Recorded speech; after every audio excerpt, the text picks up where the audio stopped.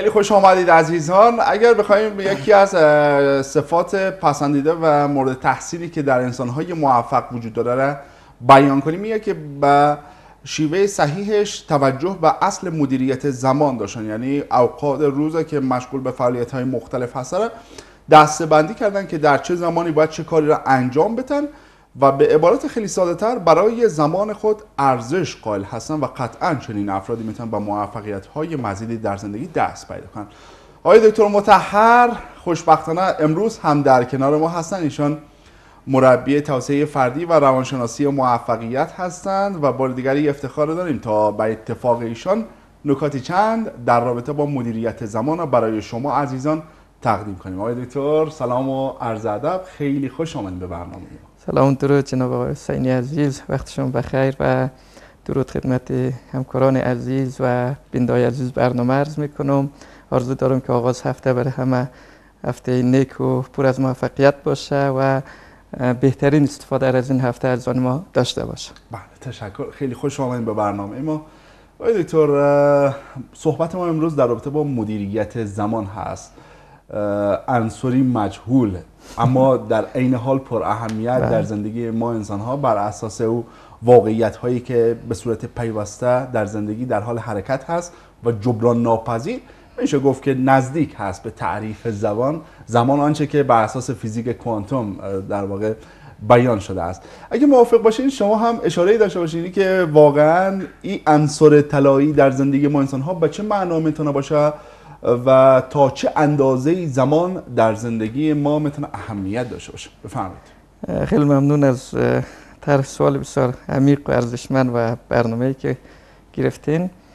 زمان اون قسمی که شما در صحبت خود گفتین یکی از ابعاد مهم زندگی ما که زندگی ما را شکل میده یا به عبارت دیگه زندگی ما بر محور زمان شکل پیدا می‌کنه یا رشد ما پیشرفت ما تغییر ما ساخته شدن ما در مسیر زمان انجام میشه.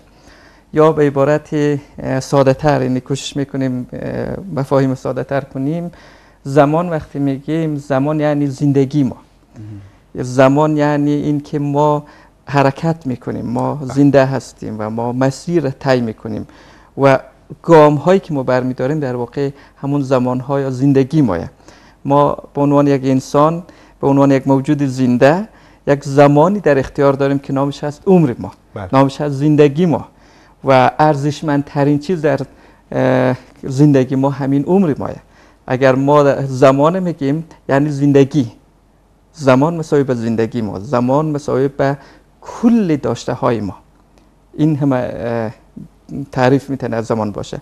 یعنی اگر وقتی زندگی ما ختم میشه زندگی ما ختم میشه دیگه ما از این بودی زمانی فاصله می‌گیریم و از این مستفید نمیشیم. وقتی ما زنده ایم یعنی از این موهبت ارزشمند استفاده می‌کنیم و بهره مند میشیم. و زمان مانندی رودخانه جریان داره و این ما هستیم که با این جریان چیکار می‌کنیم؟ متوقف هستیم یا ما هم جریان پیدا می‌کنیم؟ ما هم رشد می‌کنیم؟ ما هم ساخته میشیم؟ ما هم از این بهره مند میشیم؟ این بستگی به ما داره. قسمی که شما گفتین راجع به خصوصیات یا ویژگی افراد موفق صحبت می‌کنیم. یک جمله از یک فرد بسیار موفق به نام جیمران است که استادی استادان موفقیت گفته میشه و او میگه که زمان ما متوجه شدم که افراد موفق و افراد معمولی و شکست خورده هر دویش 24 ساعت وقت در شبانه روز داره, داره. ما دیوانه می‌شدم که چطور امکان داره که این زمانش یکی اما یکی میره افراد موفق میشه یکی افرادی شکست خورده و ضعیف میشه. بله. چطور همچون چیز امکان پذیره بعد گفت متوجه شدم که نحوه استفاده آدم ها از زمان تفاوت داره. این نحوه استفاده از زمان است که فاصله و تفاوت بین آدم ها ایجاد می‌کنه.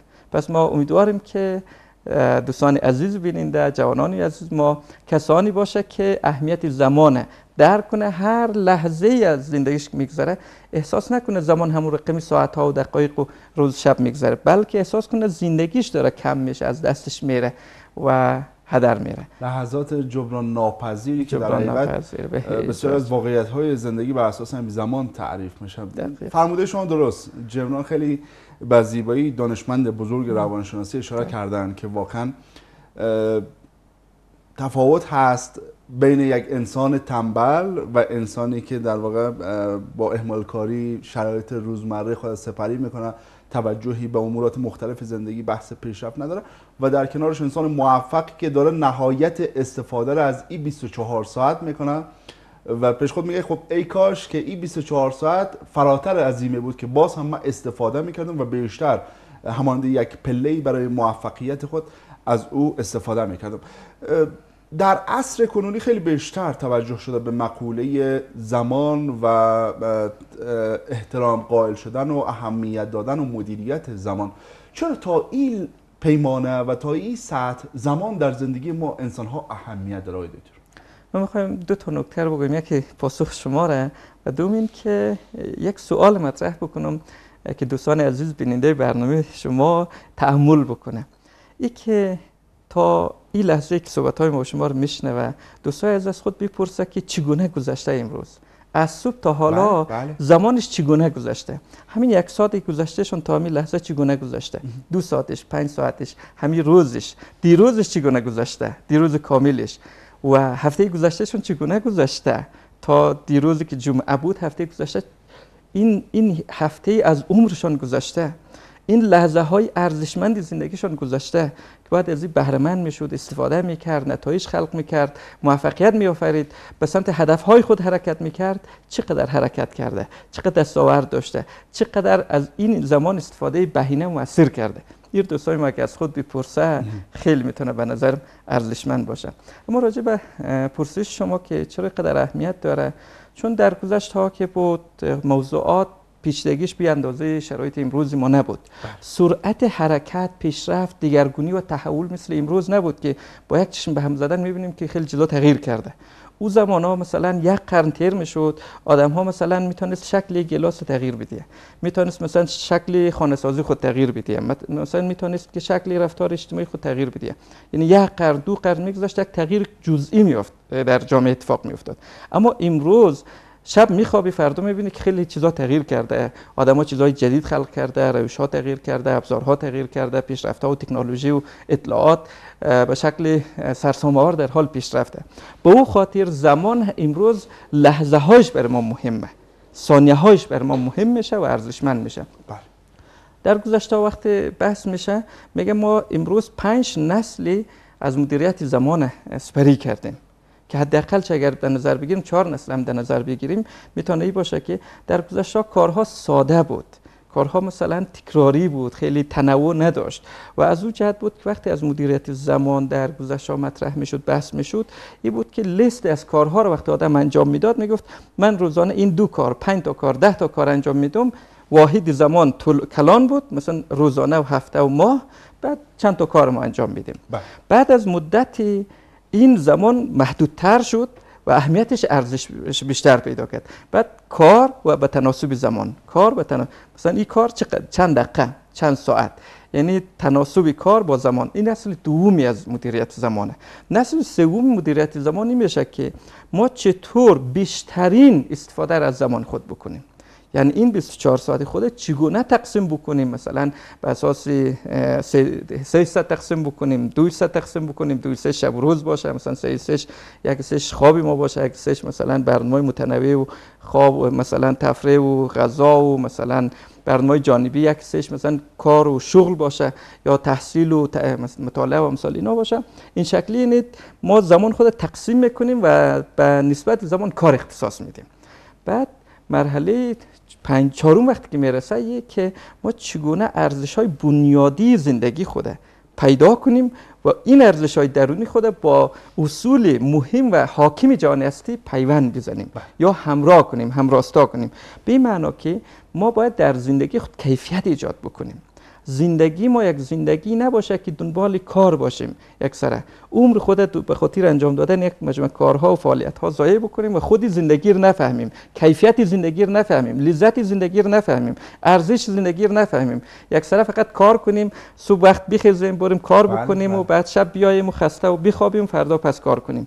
مجموعه کارها در زمان. نه میگه تو چگونه تعادل در زندگی خود ایجاد می‌کنی؟ یعنی این زندگی تو وقتی زندگی میگیم یعنی همین زمان. در این زمان که تو قرار داری و حرکت می‌کنی چگونه تعادل ایجاد می‌تونی تعادل بین دنیای درونی خود و دنیای بیرون که مثلا فضا و جامعه و فرهنگ و تکنولوژی و شرایط محیطی و جوی است. چگونه یک تعادل ایجاد می‌کنه که به یک زندگی زیبا به یک زندگی ارزشمند به یک زندگی مثبت برسه که تو وقتی شب مثلا می احساس کنه که من یک انسان موثر هستم من یک انسان مفید هستم. من از زندگی خود استفاده می‌کنم واقعا لذت می‌برم. نه که زندگی خود خرج می‌کنم. خرج کردن با استفاده کردن خیلی فرق بله، می‌کنه. اینجا که ما اگر از اهمیت مدیریت زمان صحبت می‌کنیم یعنی امروز ما باید در حداقل در نسل چهارم برسیم و به گونه کار کنیم که بین زندگی تعادل ایجاد کنیم بله. و از زندگی خود بیشترین استفاده مفید داشته باشیم. بله تشکر می‌کنم آقای دکتر زنده و سلامت باشه فرمایشات بسیار زیبایی را داشتید و واقعا هم همین گونه هست. یعنی انسان هایی که متعهد هستند به پیشرفت هرچه بیشتر در زندگی و تصمیم بر ای دارن که بخواهند در زندگی خود و اطرافیان خود تغییر ایجاد کنن باید این اصولی که واقعا اصول موفقیت هست در زندگی بتون با شیوه صحیح درست و محکم مورد تبیین قرار ده که یکی از این اصول برگشت ناپذیر مسئله مدیریت زمان هست که باید هر فردی توجه داشته باشه که امروزی که گذشت من چه کار نیک انجام دادم؟ برای که بتونم توسعه فردی خود افزایش بتونم برای که بتونم تغییر در زندگی خود در نگرش ها و باورهای زندگی خود ایجاد کنم. و همین قدم های کوچک کم کم مثلا از مطالعه یک فصل کتاب مثلا در روز یا هفته آغاز بشه و باعث میشه که یک تغییر در زندگی انسان رخ بده. در حقیقت تفاوت میان انسان هایی که ایستاد هستن همانند یک درخت و انسان هایی که بنا به فرموده شما که تعبیر بسیار زیبایی بود که همانند یک رودخانه خروشان حرکت می‌کنن به سمت جلو و تمام مشکلات و سنگریزه های زندگی را کنار می‌زنن در همی است که نمی‌خواین ایستاشن و توجه دارن به مدیریت زمان. تشکر می‌کنم از صحبت های شما و از همراهی شما هم تشکر می‌کنم عزیزان. انشالله که این صحبت ها تا این لحظه مورد توجه شما عزیزان به ویژه جوانان غیور و بزرگوار واقع شده باشه. وقفه رو شاهد باشیم و انشالله در ادامه بیشتر در رابطه با مدیریت زمان گپ خواهیم زد.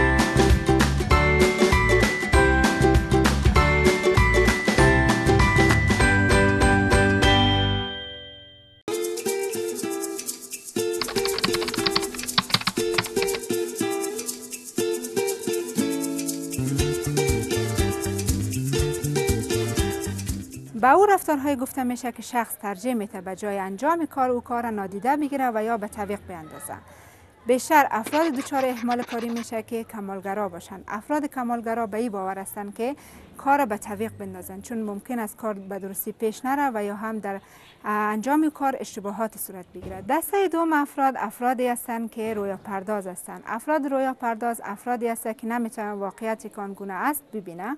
و با باور آنها سرنوشت روز همه موضوعات برای آنها هموار خواهد کرد. آنها از کارهای دشوار پرهیز می‌کنند و یا از انجام دادن کاری که تلاش نیاز داشته باشند را انجام نمی‌تونن سومین دسته افرادی هستند که استراب دارند. اشخاصی که استراب داره به توانایی خود باور ندارن و پس ترجیح میتن که کار امروز به فردا معکل بسازن و دسته چهارم افرادی هستند که انگیزه کافی برای انجام کار ندارن افراد به انگیزه می‌تونن کار امروز به فردا واگذار کنند. عوامل گوناگون دخیل هستند مثل نداشتن اعتماد به نفس نداشتن وقت کافی بهانه های گوناگون که می‌تونه اثرات خیلی منفی در زندگی اجتماعی در زندگی کاری شخص به وجود بیاره. نه خب دلایل زیادی دارن که اهمال کاری به وجود میان. افرادی که اعتماد به نفس پایین دارن استرس و فشار بالای باعث میشه که اهمال کاری به وجود بیان و وقتی کافی برای کاری که ضرور هست انجام بده کافی وقتی کافی برشان ایجاد نمی‌کنه و بهانه میاره و بهانه های مختلف میاره که مثلا من کار انجام نمی‌تونم یا کار خود می‌گذاره به فردا. من حتما فردا کار می باید گفت کار فردا انجام دادن نمی‌تونه. چرا که او همیشه به تاخیر میندازه این باعث میشه که اهمالگرا اهمال کاری به وجود بیاین به افراد ایجاد شوند. اما در جامعه ما متاسفانه بیشتر علت مطرح هسته اینکه جوانان ما اهمال کاری می‌کنن یا به صورت کلی در جامعه اهمال کاری زیاد وجود دارد ریشه در اولا عدم معرفتی ما دارد. خیلی جاها هست که ما از روی عدم آگاهی اهمال کاری می‌کنیم. میگیم این مهم نیست. در حالی که شاید مهم باشه اگر که ابعاد و زوایای از او برای ما در واقع مکشوف شود معین شود برای ما مهم جلوه می‌کند. بنابراین خیلی وقتا ما از سر ناآگاهی یک امری را انجام نمی‌دهیم جدیش نمی‌گیریم رهاش می‌کنیم به حال خودش و خیلی وقتا از اینجا هستن. اما خیلی وقتا هسته که در واقع احمال کاری ریشه در وجدان اخلاقی آدم ها داره. متاسفانه در جامعه ما چیزی که بغایت کم است وجدان اخلاقی و وجدان کاری هست با آنکه یک کسی که تعهد می‌کند بر انجام یک کار این آدم اخلاقا و قانونا معذف است که تمام سعیش را بکند که اون کار را به بهترین وجه ممکن انجام دهد. اما از اینکه مردم ما هنوز به بلوغ در واقع اخلاقی نرسیده اند تعهد می‌کنن اما زیر تعهد خود می‌زنن. وعده می‌کنن و خلفی وعده می‌کنن و این از اینجا ناشی می‌شود. خب عزیزان به اتفاق یکدیگر گزارشی را دیدیم و نظریات هموطنان از ما در رابطه با اهمال کاری بود که چرا در مواقعی مشخص از ایام ما دچار اهمال کاری میشیم و رقابت کافی و توجه کافی نداریم که کارها در موعود مناسب و سر وقت انجام بدیم. خیلی از ما شاید بی انگیزه هستیم و یا ای که تنبلی های روزمره ما و عادت انجام کارهای روتین باعث شده که ما اولویت بندی در کارهای خود و زمان بندی درستی نداشته باشیم. پرسشی که در بخش فعلی برنامه یعنی بخش دوم مطرح میشه این هست که چرا ما توجه به اصل مدیریت زمان نداریم یا موانع صد راه ما افغان ها به ویژه جوانان چه چیزی هست که زمان که یک گوهر بسیار گرانبهایی هست خیلی خیلی راحت از دست میتیم؟ آقای دکتر در خدمت شما. خیلی عالی. این که ابتدا وقت خدا یک محاسبه بکنیم واقعا ابتدا صحبت کردیم که قیمت عمر ما یعنی ما هر ساعت و یا هر روز از عمر خود یا هر دقیقه از عمر خود با چی بهایی می‌خوایم خرج کنیم؟ با چی بهایی می‌تونیم از دست بدیم؟ این بر خود ارزش گذاری بکنیم. به این معنا که ما یک شبانه روز خوده یا دو سه ساعت خوده یا یک ساعت خوده که وقتی از دست میدوم خرج بکنم در مقابلش چی به دست بیارم که ارزش هزینه عمر مرا داشته باشه هزینه زندگی مرا داشته باشه. این وقتی که صرف می‌کنم پاداش یا مثلا ارزش به دست میارم با این تعادل داشته باشه. این باید محاسبه بکنم مثلا ارزش یک آدم ممکن است در هر ساعت ممکن یک هزار افغانی باشه ممکنه پنج هزار افغانی باشه از یک آدم بسیار موفق ممکنه یک لک افغانی باشه ولی از یک آدم معمولی ممکن است که صد افغانی باشه. و به ترزیش می‌فهمین چیه؟ ای که هیچ ارزش نداشته باشه. هیچ ارزش نداشت یعنی ما همین رقمی عمر خوده زندگی خود یعنی عمر زندگی که میگم همون زمان داریم از دست میدیم. هیچ چیزی در مقابلش به دست نیاریم. هیچ تغییری هیچ پیشرفتی هیچ دستاوردی هیچ مطالعه هیچ تغییر آگاهی هیچ موفقیت کسب نکنیم. اینجا خیلی جالب میشه. یا بدتر از رویشه که ما این عمر خوده که زمان باشه از دست بدیم خرج بکنیم از دست ما بره.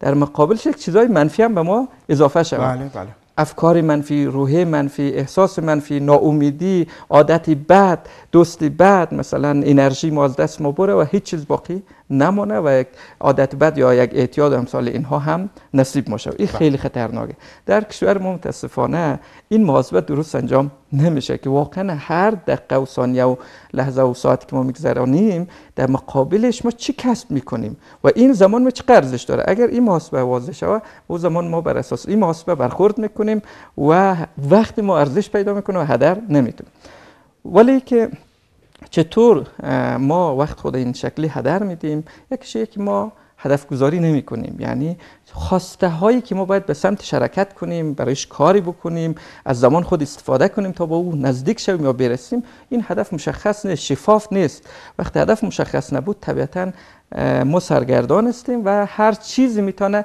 بیا وقتی ما را از ما بیرو باید و قربانی بکنه. یعنی وقتی هدف نداشت می یکی از مهمترین ویژگیش دوم بحثیه که ما برنامه ای که این مثلا 24 ساعت خود هفته خود ماه خود سال خود تقسیم بکنیم پنج سال خود تقسیم بکنیم که این زمانی ما به کجا و به چی کاری به چی مسیری اختصاص پیدا کنه؟ مثلا یکی ممکن بر تحصیل باشه یکی برای عبادت باشه یکی برای خدمت اجتماعی باشه یکی ممکنه برنامه مختلفی ارتقای ظرفیت خودسازی دیگه باشه روی اقتصاد و نواری باشه. این باید مسیرش مشخص باشه. وقتی ما برنامه نداشتیم یعنی زمان ما با کارها تناسب پیدا نکنه اختصاص پیدا نکنه یعنی اون نسل دومی مدیریت زمان هم ما یاد نداشته باشیم. خب زندگی ما طبیعی که نباید از بهتر شود. بله. وقتی ما از کیفیت زندگی بهبود زندگی حرف می‌زنیم از تعادل زندگی شکوفایی زندگی حرف می‌زنیم و سطح زندگی ما حتی کار ما و زمان ما مشخص نباشه که سطح دومی یا نسل دومی مدیریت زمان است و استفاده از زمان. بعد اینجا بگیم زندگی میشه ما افغان ها زندگی میشه بهتر نمیشه. این جای خیلی تعجب داره. اما اگر اون بحث تعلل اینا که طبیعتا هست اهمال کاری و تعلل و راحت طلبی و بهانه تراشی و امثال اینا که جز عادت های مشته مهمترین عاملش یکی در درون مایه. در درون ما یعنی در زمیر ناخودآگاه ما که زمیر ناخودآگاه ما قسم طراحی که ستومی زندگی ما را یا بدنی ما را کنترل می‌کنه یا هدایت میده که ما کارایی بکنیم که کارهای تکراری، کارهای راحت و کارهای روتین انجام بدیم. نه کارهای نو جدید و تغییر. ما هر وقت که به سمت موفقیت پیشرفت حرکت می‌کنیم باید از وضع موجود یا دایره امن خود حرکت کنیم بیرون شیم یعنی کار متفاوت بکنیم. از اون جایی که نشستیم باید بریم کتاب بگیریم. اگر مثلا استراحت مطالعه کنیم. اگر مثلا پای تلویزیون نشستیم بریم کورس بریم دانشگاه بریم مکتب بریم یک جای درس بخونیم. خب؟ این نشان میده که ما باید از دایره امن خود خارج شیم اما زمیر ناخودآگاه برای ما چی میگه؟ میگه نه این کار نه جایت خوبه. حالتت خوبه. اینی حالی موجودی دیگه که از تو انرژی نمی‌بره. در حالت راحت هستی کار و ترس و نگرانی برات ایجاد نمی‌کنه. و همینجا رو حفظ کن. بعدی بخش آگاهی میگه نه برو مطالعه کو برو تغییر کو برو رشد کو. این که میگه رشد کو تغییر کو یه حالت خیلی کم ضعیف این در حدی. 3 4 تا 7 درصد قدرت ایر داره که ما رو حرکت بده 90 تا 97 درصد دیگه شان میگه نه باش جای خود باش که انرژی خرج نشه و به قاید به خطر میفته. آرامش از بین میره مثلا انرژی تو ضایع میشه. بعد این تعادل اگر ما نفهمیم که ضمیر ناخودآگاه خود مدیریت کنیم یعنی ذهن خود مدیریت کنیم ذهن مثل اسب چاوش, چاوش است یعنی چموش مثل ببخشید این اسب یا گونه خطرناک است که اگر ما را مدیریت کردیم سوار ای شدیم این ما در هر منزل که بخوایم میرسونیم اون قدرت خلاقیت و تنوع و نواری هر چیز داره. برای هر چیز راه حل پیدا می‌تونه اگر ما مدیریت نتونستیم این ذهنی که به هر سمتی به هر چیزی فکر می‌کنه اگر این ما مدیریت که زندگی ما تلخ و دچار بحران و بدبختی و مصیبت میشیم. بله. که خیلی ما این زمیر ناخودآگاه نمی‌شناسیم و بله. مدیریت نمی‌تونیم مثل اسب چموش دیگه ما رو مدیریت می‌کنه. بله، ما رو به سختی ناامیدی پریشانی گرفتاری تنبلی و امثال اینا گرفتار می‌کنه. بس خیلی مهم شه که ما عادت کردیم. یعنی یک کاری که پنج شش بار ده بار بیست بار انجام شود با عادت ما کم کم تبدیل میشه. یعنی ساختار ذهنی ما رو شکل میده.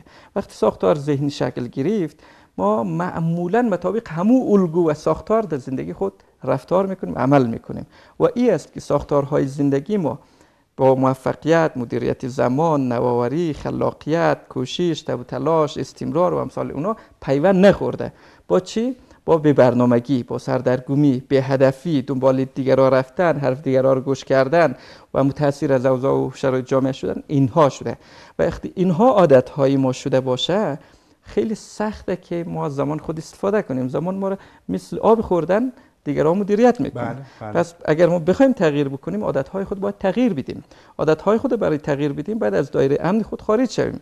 یعنی یک مقداری یا مدتی باید فضای جدید سختی را تحول و تنوع باید تجربه بکنیم و قبول بکنیم. یعنی انضباط شخصی داشته باشیم. کارهای سخته ولو خوش ما هم بله. نمیایه باید در زمانش پابند باشیم و اجرا بکنیم. تشکر آقای دکتر. تعبیر بسیار زیبایی را به کار گرفتن و باور منهی هست نسبت به باورها عقاید و افکاری که در دراز مدت نگرش ما نسبت به زندگی رو شکل داده. بنا به فرموده شما ناخداگاه ما. همانند ای هست این یک گردونه ای هست متحرک آقای دکتر که ما روی از اون میدویم در حالی که داریم به شدت انرژی به خرج میتیم اما هیچ حرکت به پیشی وجود نداره و در حالی ما می‌تونیم این وضعیت تغییر بدیم که از این گردونه متحرک خارج شویم و در زندگی خود در عادتهای روزمره خود و اون نقطه ایمن و امنی که همواره ما را وادار به بقای در زندگی می‌کنن خارج شویم و به سمت ریسک پذیر بودن به سمت تلاش هرچه بیشتر حرکت کنیم. تشکر. خیلی از افراد با توجه به تمامی صحبت هایی که شما داشتیم باز هم به خیال این مسئله هستن و نمی‌خواین که برنامه‌ریزی نسبت به زمانهای خود داشته باشن اولویت بندی نسبت به کارهایی که باید در فاصله های زمانی مشخص انجام شود. چقدر می‌تونه عدم مدیریت زمان در زندگی ما فاجعه بار باشه؟ خب فاجعه بارش اینه که زندگی ما رو از ما می‌گیره. در زندگی ما کیفیتی نیست دستاوردی نیست موفقیت نیست. ما یک آدمی ضعیف آدمی نیازمند آدمی وابسته آدمی که ارزه استفاده از زمان خود نداریم. وقتی ارزه استفاده از زمان خود نداشته باشیم خب چی کیفیت در زندگی ما وجود داره؟ چی تغییری چی پیشرفتی چی افتخاری چی دستاوردی می‌تونه خلق شه؟ وقتی که ما زمان استفاده نکنیم هر چیزی که خلق شده این گلاس وقتی ساخته شده در محور زمان ساخته شده. یعنی مدت زمانی اختصاص پیدا کرده که ساخته شده پس وقتی ما زمان خود استفاده کنیم زندگی ما چطور ساخته شخصیت ما فکر ما اندیشه ما پس اینا در این مسیر زمان ساخته میشه. وقتی ما زمان یاد نداشته باشیم که چگونه استفاده کنیم زمان ما هدر میره و زندگی ما تباه و برباد. بله تشکر می‌کنیم از صحبت های بسیار زیبای شما و بار دیگر از همراهی شما از هم تشکر می‌کنم. نکته ای که باقی میمانه ای هست که چگونه می‌تونیم زمان این گوهر گرانبها و شیرین و پر اهمیت مدیریت کنیم؟ انشالله بعد از دیدن وقفه بسیار کوتاه در بخش بعدی به این پرسش آقای دکتر اشاراتی خواهند داشت.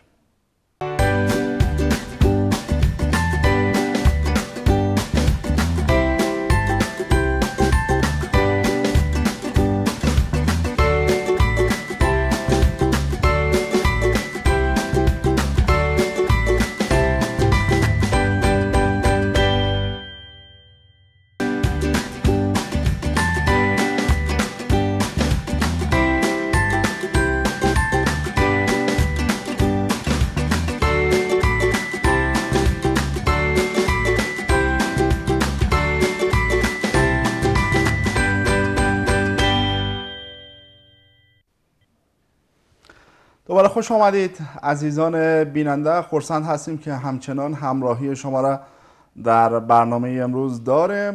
مخاطب خاص ما جوانان هستند. در این بخش از صحبت ها چون دوره جوانی دوره بسیار پر اهمیتی هست به لحاظ که ما باید نهایت استفاده را از فرصت گرانبهایی که دوره جوانی در اختیار ما قرار داده ببریم تا که بتونیم به مدارج عالی از زندگی در همه ابعادش برسیم و با موفقیت دست پیدا کنیم. آقای دکتر تشکر می‌کنم از صحبت های شما. فکر می‌کنم به اندازه کافی در رابطه با اهمیت زبان زمان صحبت کردیم و ای که از دست دادن زمان چقدر می‌تونه برای ما فاجعه انگیز باشه.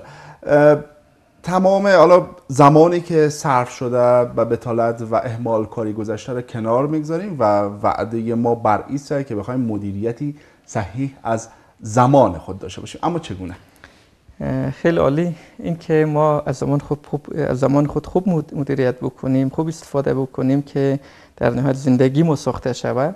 راه های مختلف است. اولی که هدف تعیین بکنیم برنامه‌ریزی بکنیم اولویت بندی بکنیم کارهای مهم را در نظر بگیریم و انگیزه درونی خودش رو بکنیم و از آدمای بیرونی هم کمک بگیریم. آدمای باشه که مانند یک مربی یک مشوق در کنار ما هر لحظه ما رو حرکت بده کمک کنه بیدار بکنه که ما توقف نشویم فراموش نکنیم و به سمت اهمال کاری و تکرار عادت ها نرویم. همه اینها امکان پذیره یک تکنیک خیلی قشنگی خیلی مشهور و کاربردی و آزمایش شده وجود داره به نام آیزنهاور. یعنی به نام شخصی آقای آیزنهاور یک فردی بسیار مهمی نظامی در آمریکا بود و بعد پسان رئیس جمهور شد آدم بسیار موفق بود. مدلی که ایشان استفاده می‌کرد یک مدلی بود که از اون ماتریس تشکیل داده بود که دو تا محور در نظر گرفته بود یک محور اهمیت یک محور فوریت. یعنی ما هر کاری که انجام میدیم ببینیم این کار ما چقدر مهمه و چقدر فوریه. بعد در اساس این وقتی سنجش کرده و چهار تا بخش در کارها و زمان به وجود آمده بود. ما یک سر کارهایی داریم که خیلی مهمه و در این زمان خیلی فوریه. اگر ما این کار همین الان انجام ندیم در واقع او کار مهم و فوری قضا میشه از دست ما میره مثلا بله. مثل اگر ما امروز این برنامه نمی آمدم یا دیرتر می آمدم این برنامه بعد از ساعت چهار نیم تمام می‌شد بله. یعنی این برنامه مهم بود که ما در خدمت شما و بندای عزیز باشم و هم از طرف دیگه فوری بود زمانش قضا می‌شد از دست ما خارج می‌شد یا مثلی که ما نزدیک امتحان کانکور هستم. امتحان کانکور امتحان بسیار مهم سرنوشت سازه و از طرف دیگه زمانش هم مشخصه که ما باید در همون زمان باشیم و او امتحان سپری بکنم. بله. بعد این نوع اولی چه میشه؟ این ماتریس میشه که هم به لحاظ اهمیت اهمیتش بالایه و به لحاظ فوریت هم فوری خیلی عاجله ضرب‌الاجله که باید انجام شود و رسیدگی بکنیم.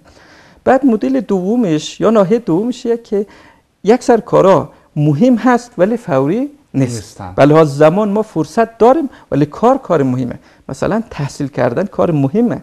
رسیدگی به سلامت و ارزش کردن و غذای خوب خوردن و روابط اجتماعی مثبت و با خانواده بودن و فامیل بودن اینا همش مهم و ارزشمنده. ولی ما فوری نیست که مثلا با روابط اجتماعی خوده یا تحصیل خوده یا مطالعه خود یک دفعه از دست بدیم نه وقت داریم باید سرش کار بکنیم برنامه ریزی بکنیم آمادگی بگیریم زمان مختلف رویش اختصاص بدیم. بعد نوی سومشه که بعضی کارها خیلی مهم نیست اما فوری هست. به لحاظ محور زمان فوری است ولی به لحاظ خودی کار خیلی مهم نیست. پس این کارا چی؟ می‌تونیم به تعویق بیاندازیم به وقت دیگه واگذار بکنیم یا اینکه به شخص دیگه واگذار بکنیم. یعنی به کس دیگه بیتیم که اونا این کار ما را انجام بده. بعد حالت چهارمش اینه که یک سر کارهای هست در زندگی ما که اگر واقعا اینا را بررسی کنیم و بشناسیم که نه مهم است نه فوری. بله. نه مهم است نه فوری. جالب اگر دوستا مثلا یک لیست جور بکنه از کارهای مهم و فوری خود یک لیست جور کنه از کارهای مهم و غیر فوری یک لیست از کارهای غیر مهم ولی فوری یک لیست از کارهای غیر مهم و غیر فوری. بله. بعد اینجا چه اتفاق میفته اون کارهای غیر مهم و غیر فوری رو حذف کنه. مثلا رفتن به فضای مجازی نمیفهم ایستاد شدن سر یک کوچه قصه کردن با یک دوستی که اصلا از هیچ بهره ای نصیب ما نمیشه. که نه فوریه که باید بریم وقت خود به او صرف کنیم. نه خیلی مهمه که بودن با او دوست بر ما ارزشمند باشه. بریم سرک و کوچه و بازار و صبح تا شب بگردیم و ساعتها. یا صحبت کردن با تلفن یا پیام بازی کردن یا مثلا به گروه های اجتماعی بودن امثال اینا می‌بینی بعضی از اینا هیچ سودمند نیست یعنی مهم نیست. طرف فوری هم نیست. اگر پیام چک نکنی اگر مثلا یک تماس جواب ندی اگر مثلا یک خواست یک آدمی که وقت رو می‌گیره لبیک نگی هیچ ارزشمند نیست. بله. می‌تونی اینا رو حذف کنی از زندگی دیلیت کنی. بعد اونی که خیلی خیلی مهمه در این مسیر چیه؟ یه که سر برنامه آینده دار خود برنامه ارزشمند و مهمی خود که فرصت داری برنامه ریزی کنی. و روی اونا کار کنه و خود بسازه و آدمی بسازه که متفاوت و موفق باشه. مثل برنامه های تحصیلی و آموزشی. تحصیلی آموزشی برنامه بخش سلامت ورزش ارتباطات اجتماعی تفکر ذهنیت و امثال اینا تا زمان شکل می‌گیره. بله. اما آدم های معمولی آدم های بدبخت و شکست خورده و اینا که است درگیر همین فاز چهارم ازیه که مشغول کارهای غیر مهم غیر فوریه. یعنی می‌تونه فضای مجازی ساعت های زیر بگیره متوجه نمیشه. این خادمایی هست که دیگر زندگیش تباهه. آدم های معمولی باز چیه؟ معمولا با کارهای فوری مواجهه. می‌بینه که فلان کار در حال از رفتن فلان کار فلان کار. در مکتب محروم میشم نمیفهم کنکور نزدیک شد درس نخواندیم نمیفهم از وظیفه در حال اخراج شدن است و مثلا پول تمام شده و نمیفهم به این مشکل مواجه شدم یعنی زندگیش در اونجا چه میشه؟ کلا گرفتاری استراب نگرانی ترس زندگی سعی مدیریت نمی‌تونه. بعد اگر بتونه چهار بخش بکنه اتومات یک سر بخشا سرش واقعا زود اقدام بکنه یک سر بخشا رو به دیگر واگذار بکنه یا کنار بگذاره یک سر چیزا رو بخی حذفش کنه یک سر چیزا رو برنامه ریزی بکنه. اینجا میشه مدیریت زمان. ما امیدوارم که دوستا همین کار انجام بده. واقعا اونایی که می‌خواد جرقه تغییر در زندگی خود روشن بکنه. این لیست انجام ده کار آسانه سخت هم نیه هر کس می‌تونه که کار مهم و غیر مهم خود تشخیص بده. خیلی واضح می‌بینیم مثلا مطالعه کردن درس خواندن کوچه رفتن فوتبال کردن احوالگیری نفهم از فلان دوست کدام از مهمه؟ بعد کدامش فوریه؟ خب همین تقسیم بندی رو می‌تونیم. کار سختی نیست که اگر این کار ما بکنیم در واقع اولویت بندی کردیم در واقع هدف های خود تعیین می‌کنیم و یک جمله که خیلی مهمه ایه که ما معمولا در سه زمان زندگی می‌کنیم. یا در گذشته یا در حالیم یا در آینده. معمولا آدم هایی که هدف نداره آدم هایی که ضعیف آدم هایی که اهمال کاری می‌کنه و عادت های خود انجام میده اونا در گذشته زندگی می‌کنه. یعنی گذشتهشان این عادت ها شکل داده بر اساس او تکرار می‌کنه و از آینده خبری نیست. زندگی حالش هم برای افسوس و ناراحتی های گذشته و از دست دادن اون وضعیت کلش به بطالت از بین میره و زندگیشان هر روز در یک چرخه باطل میچرخه و عمرشان به فنا میره.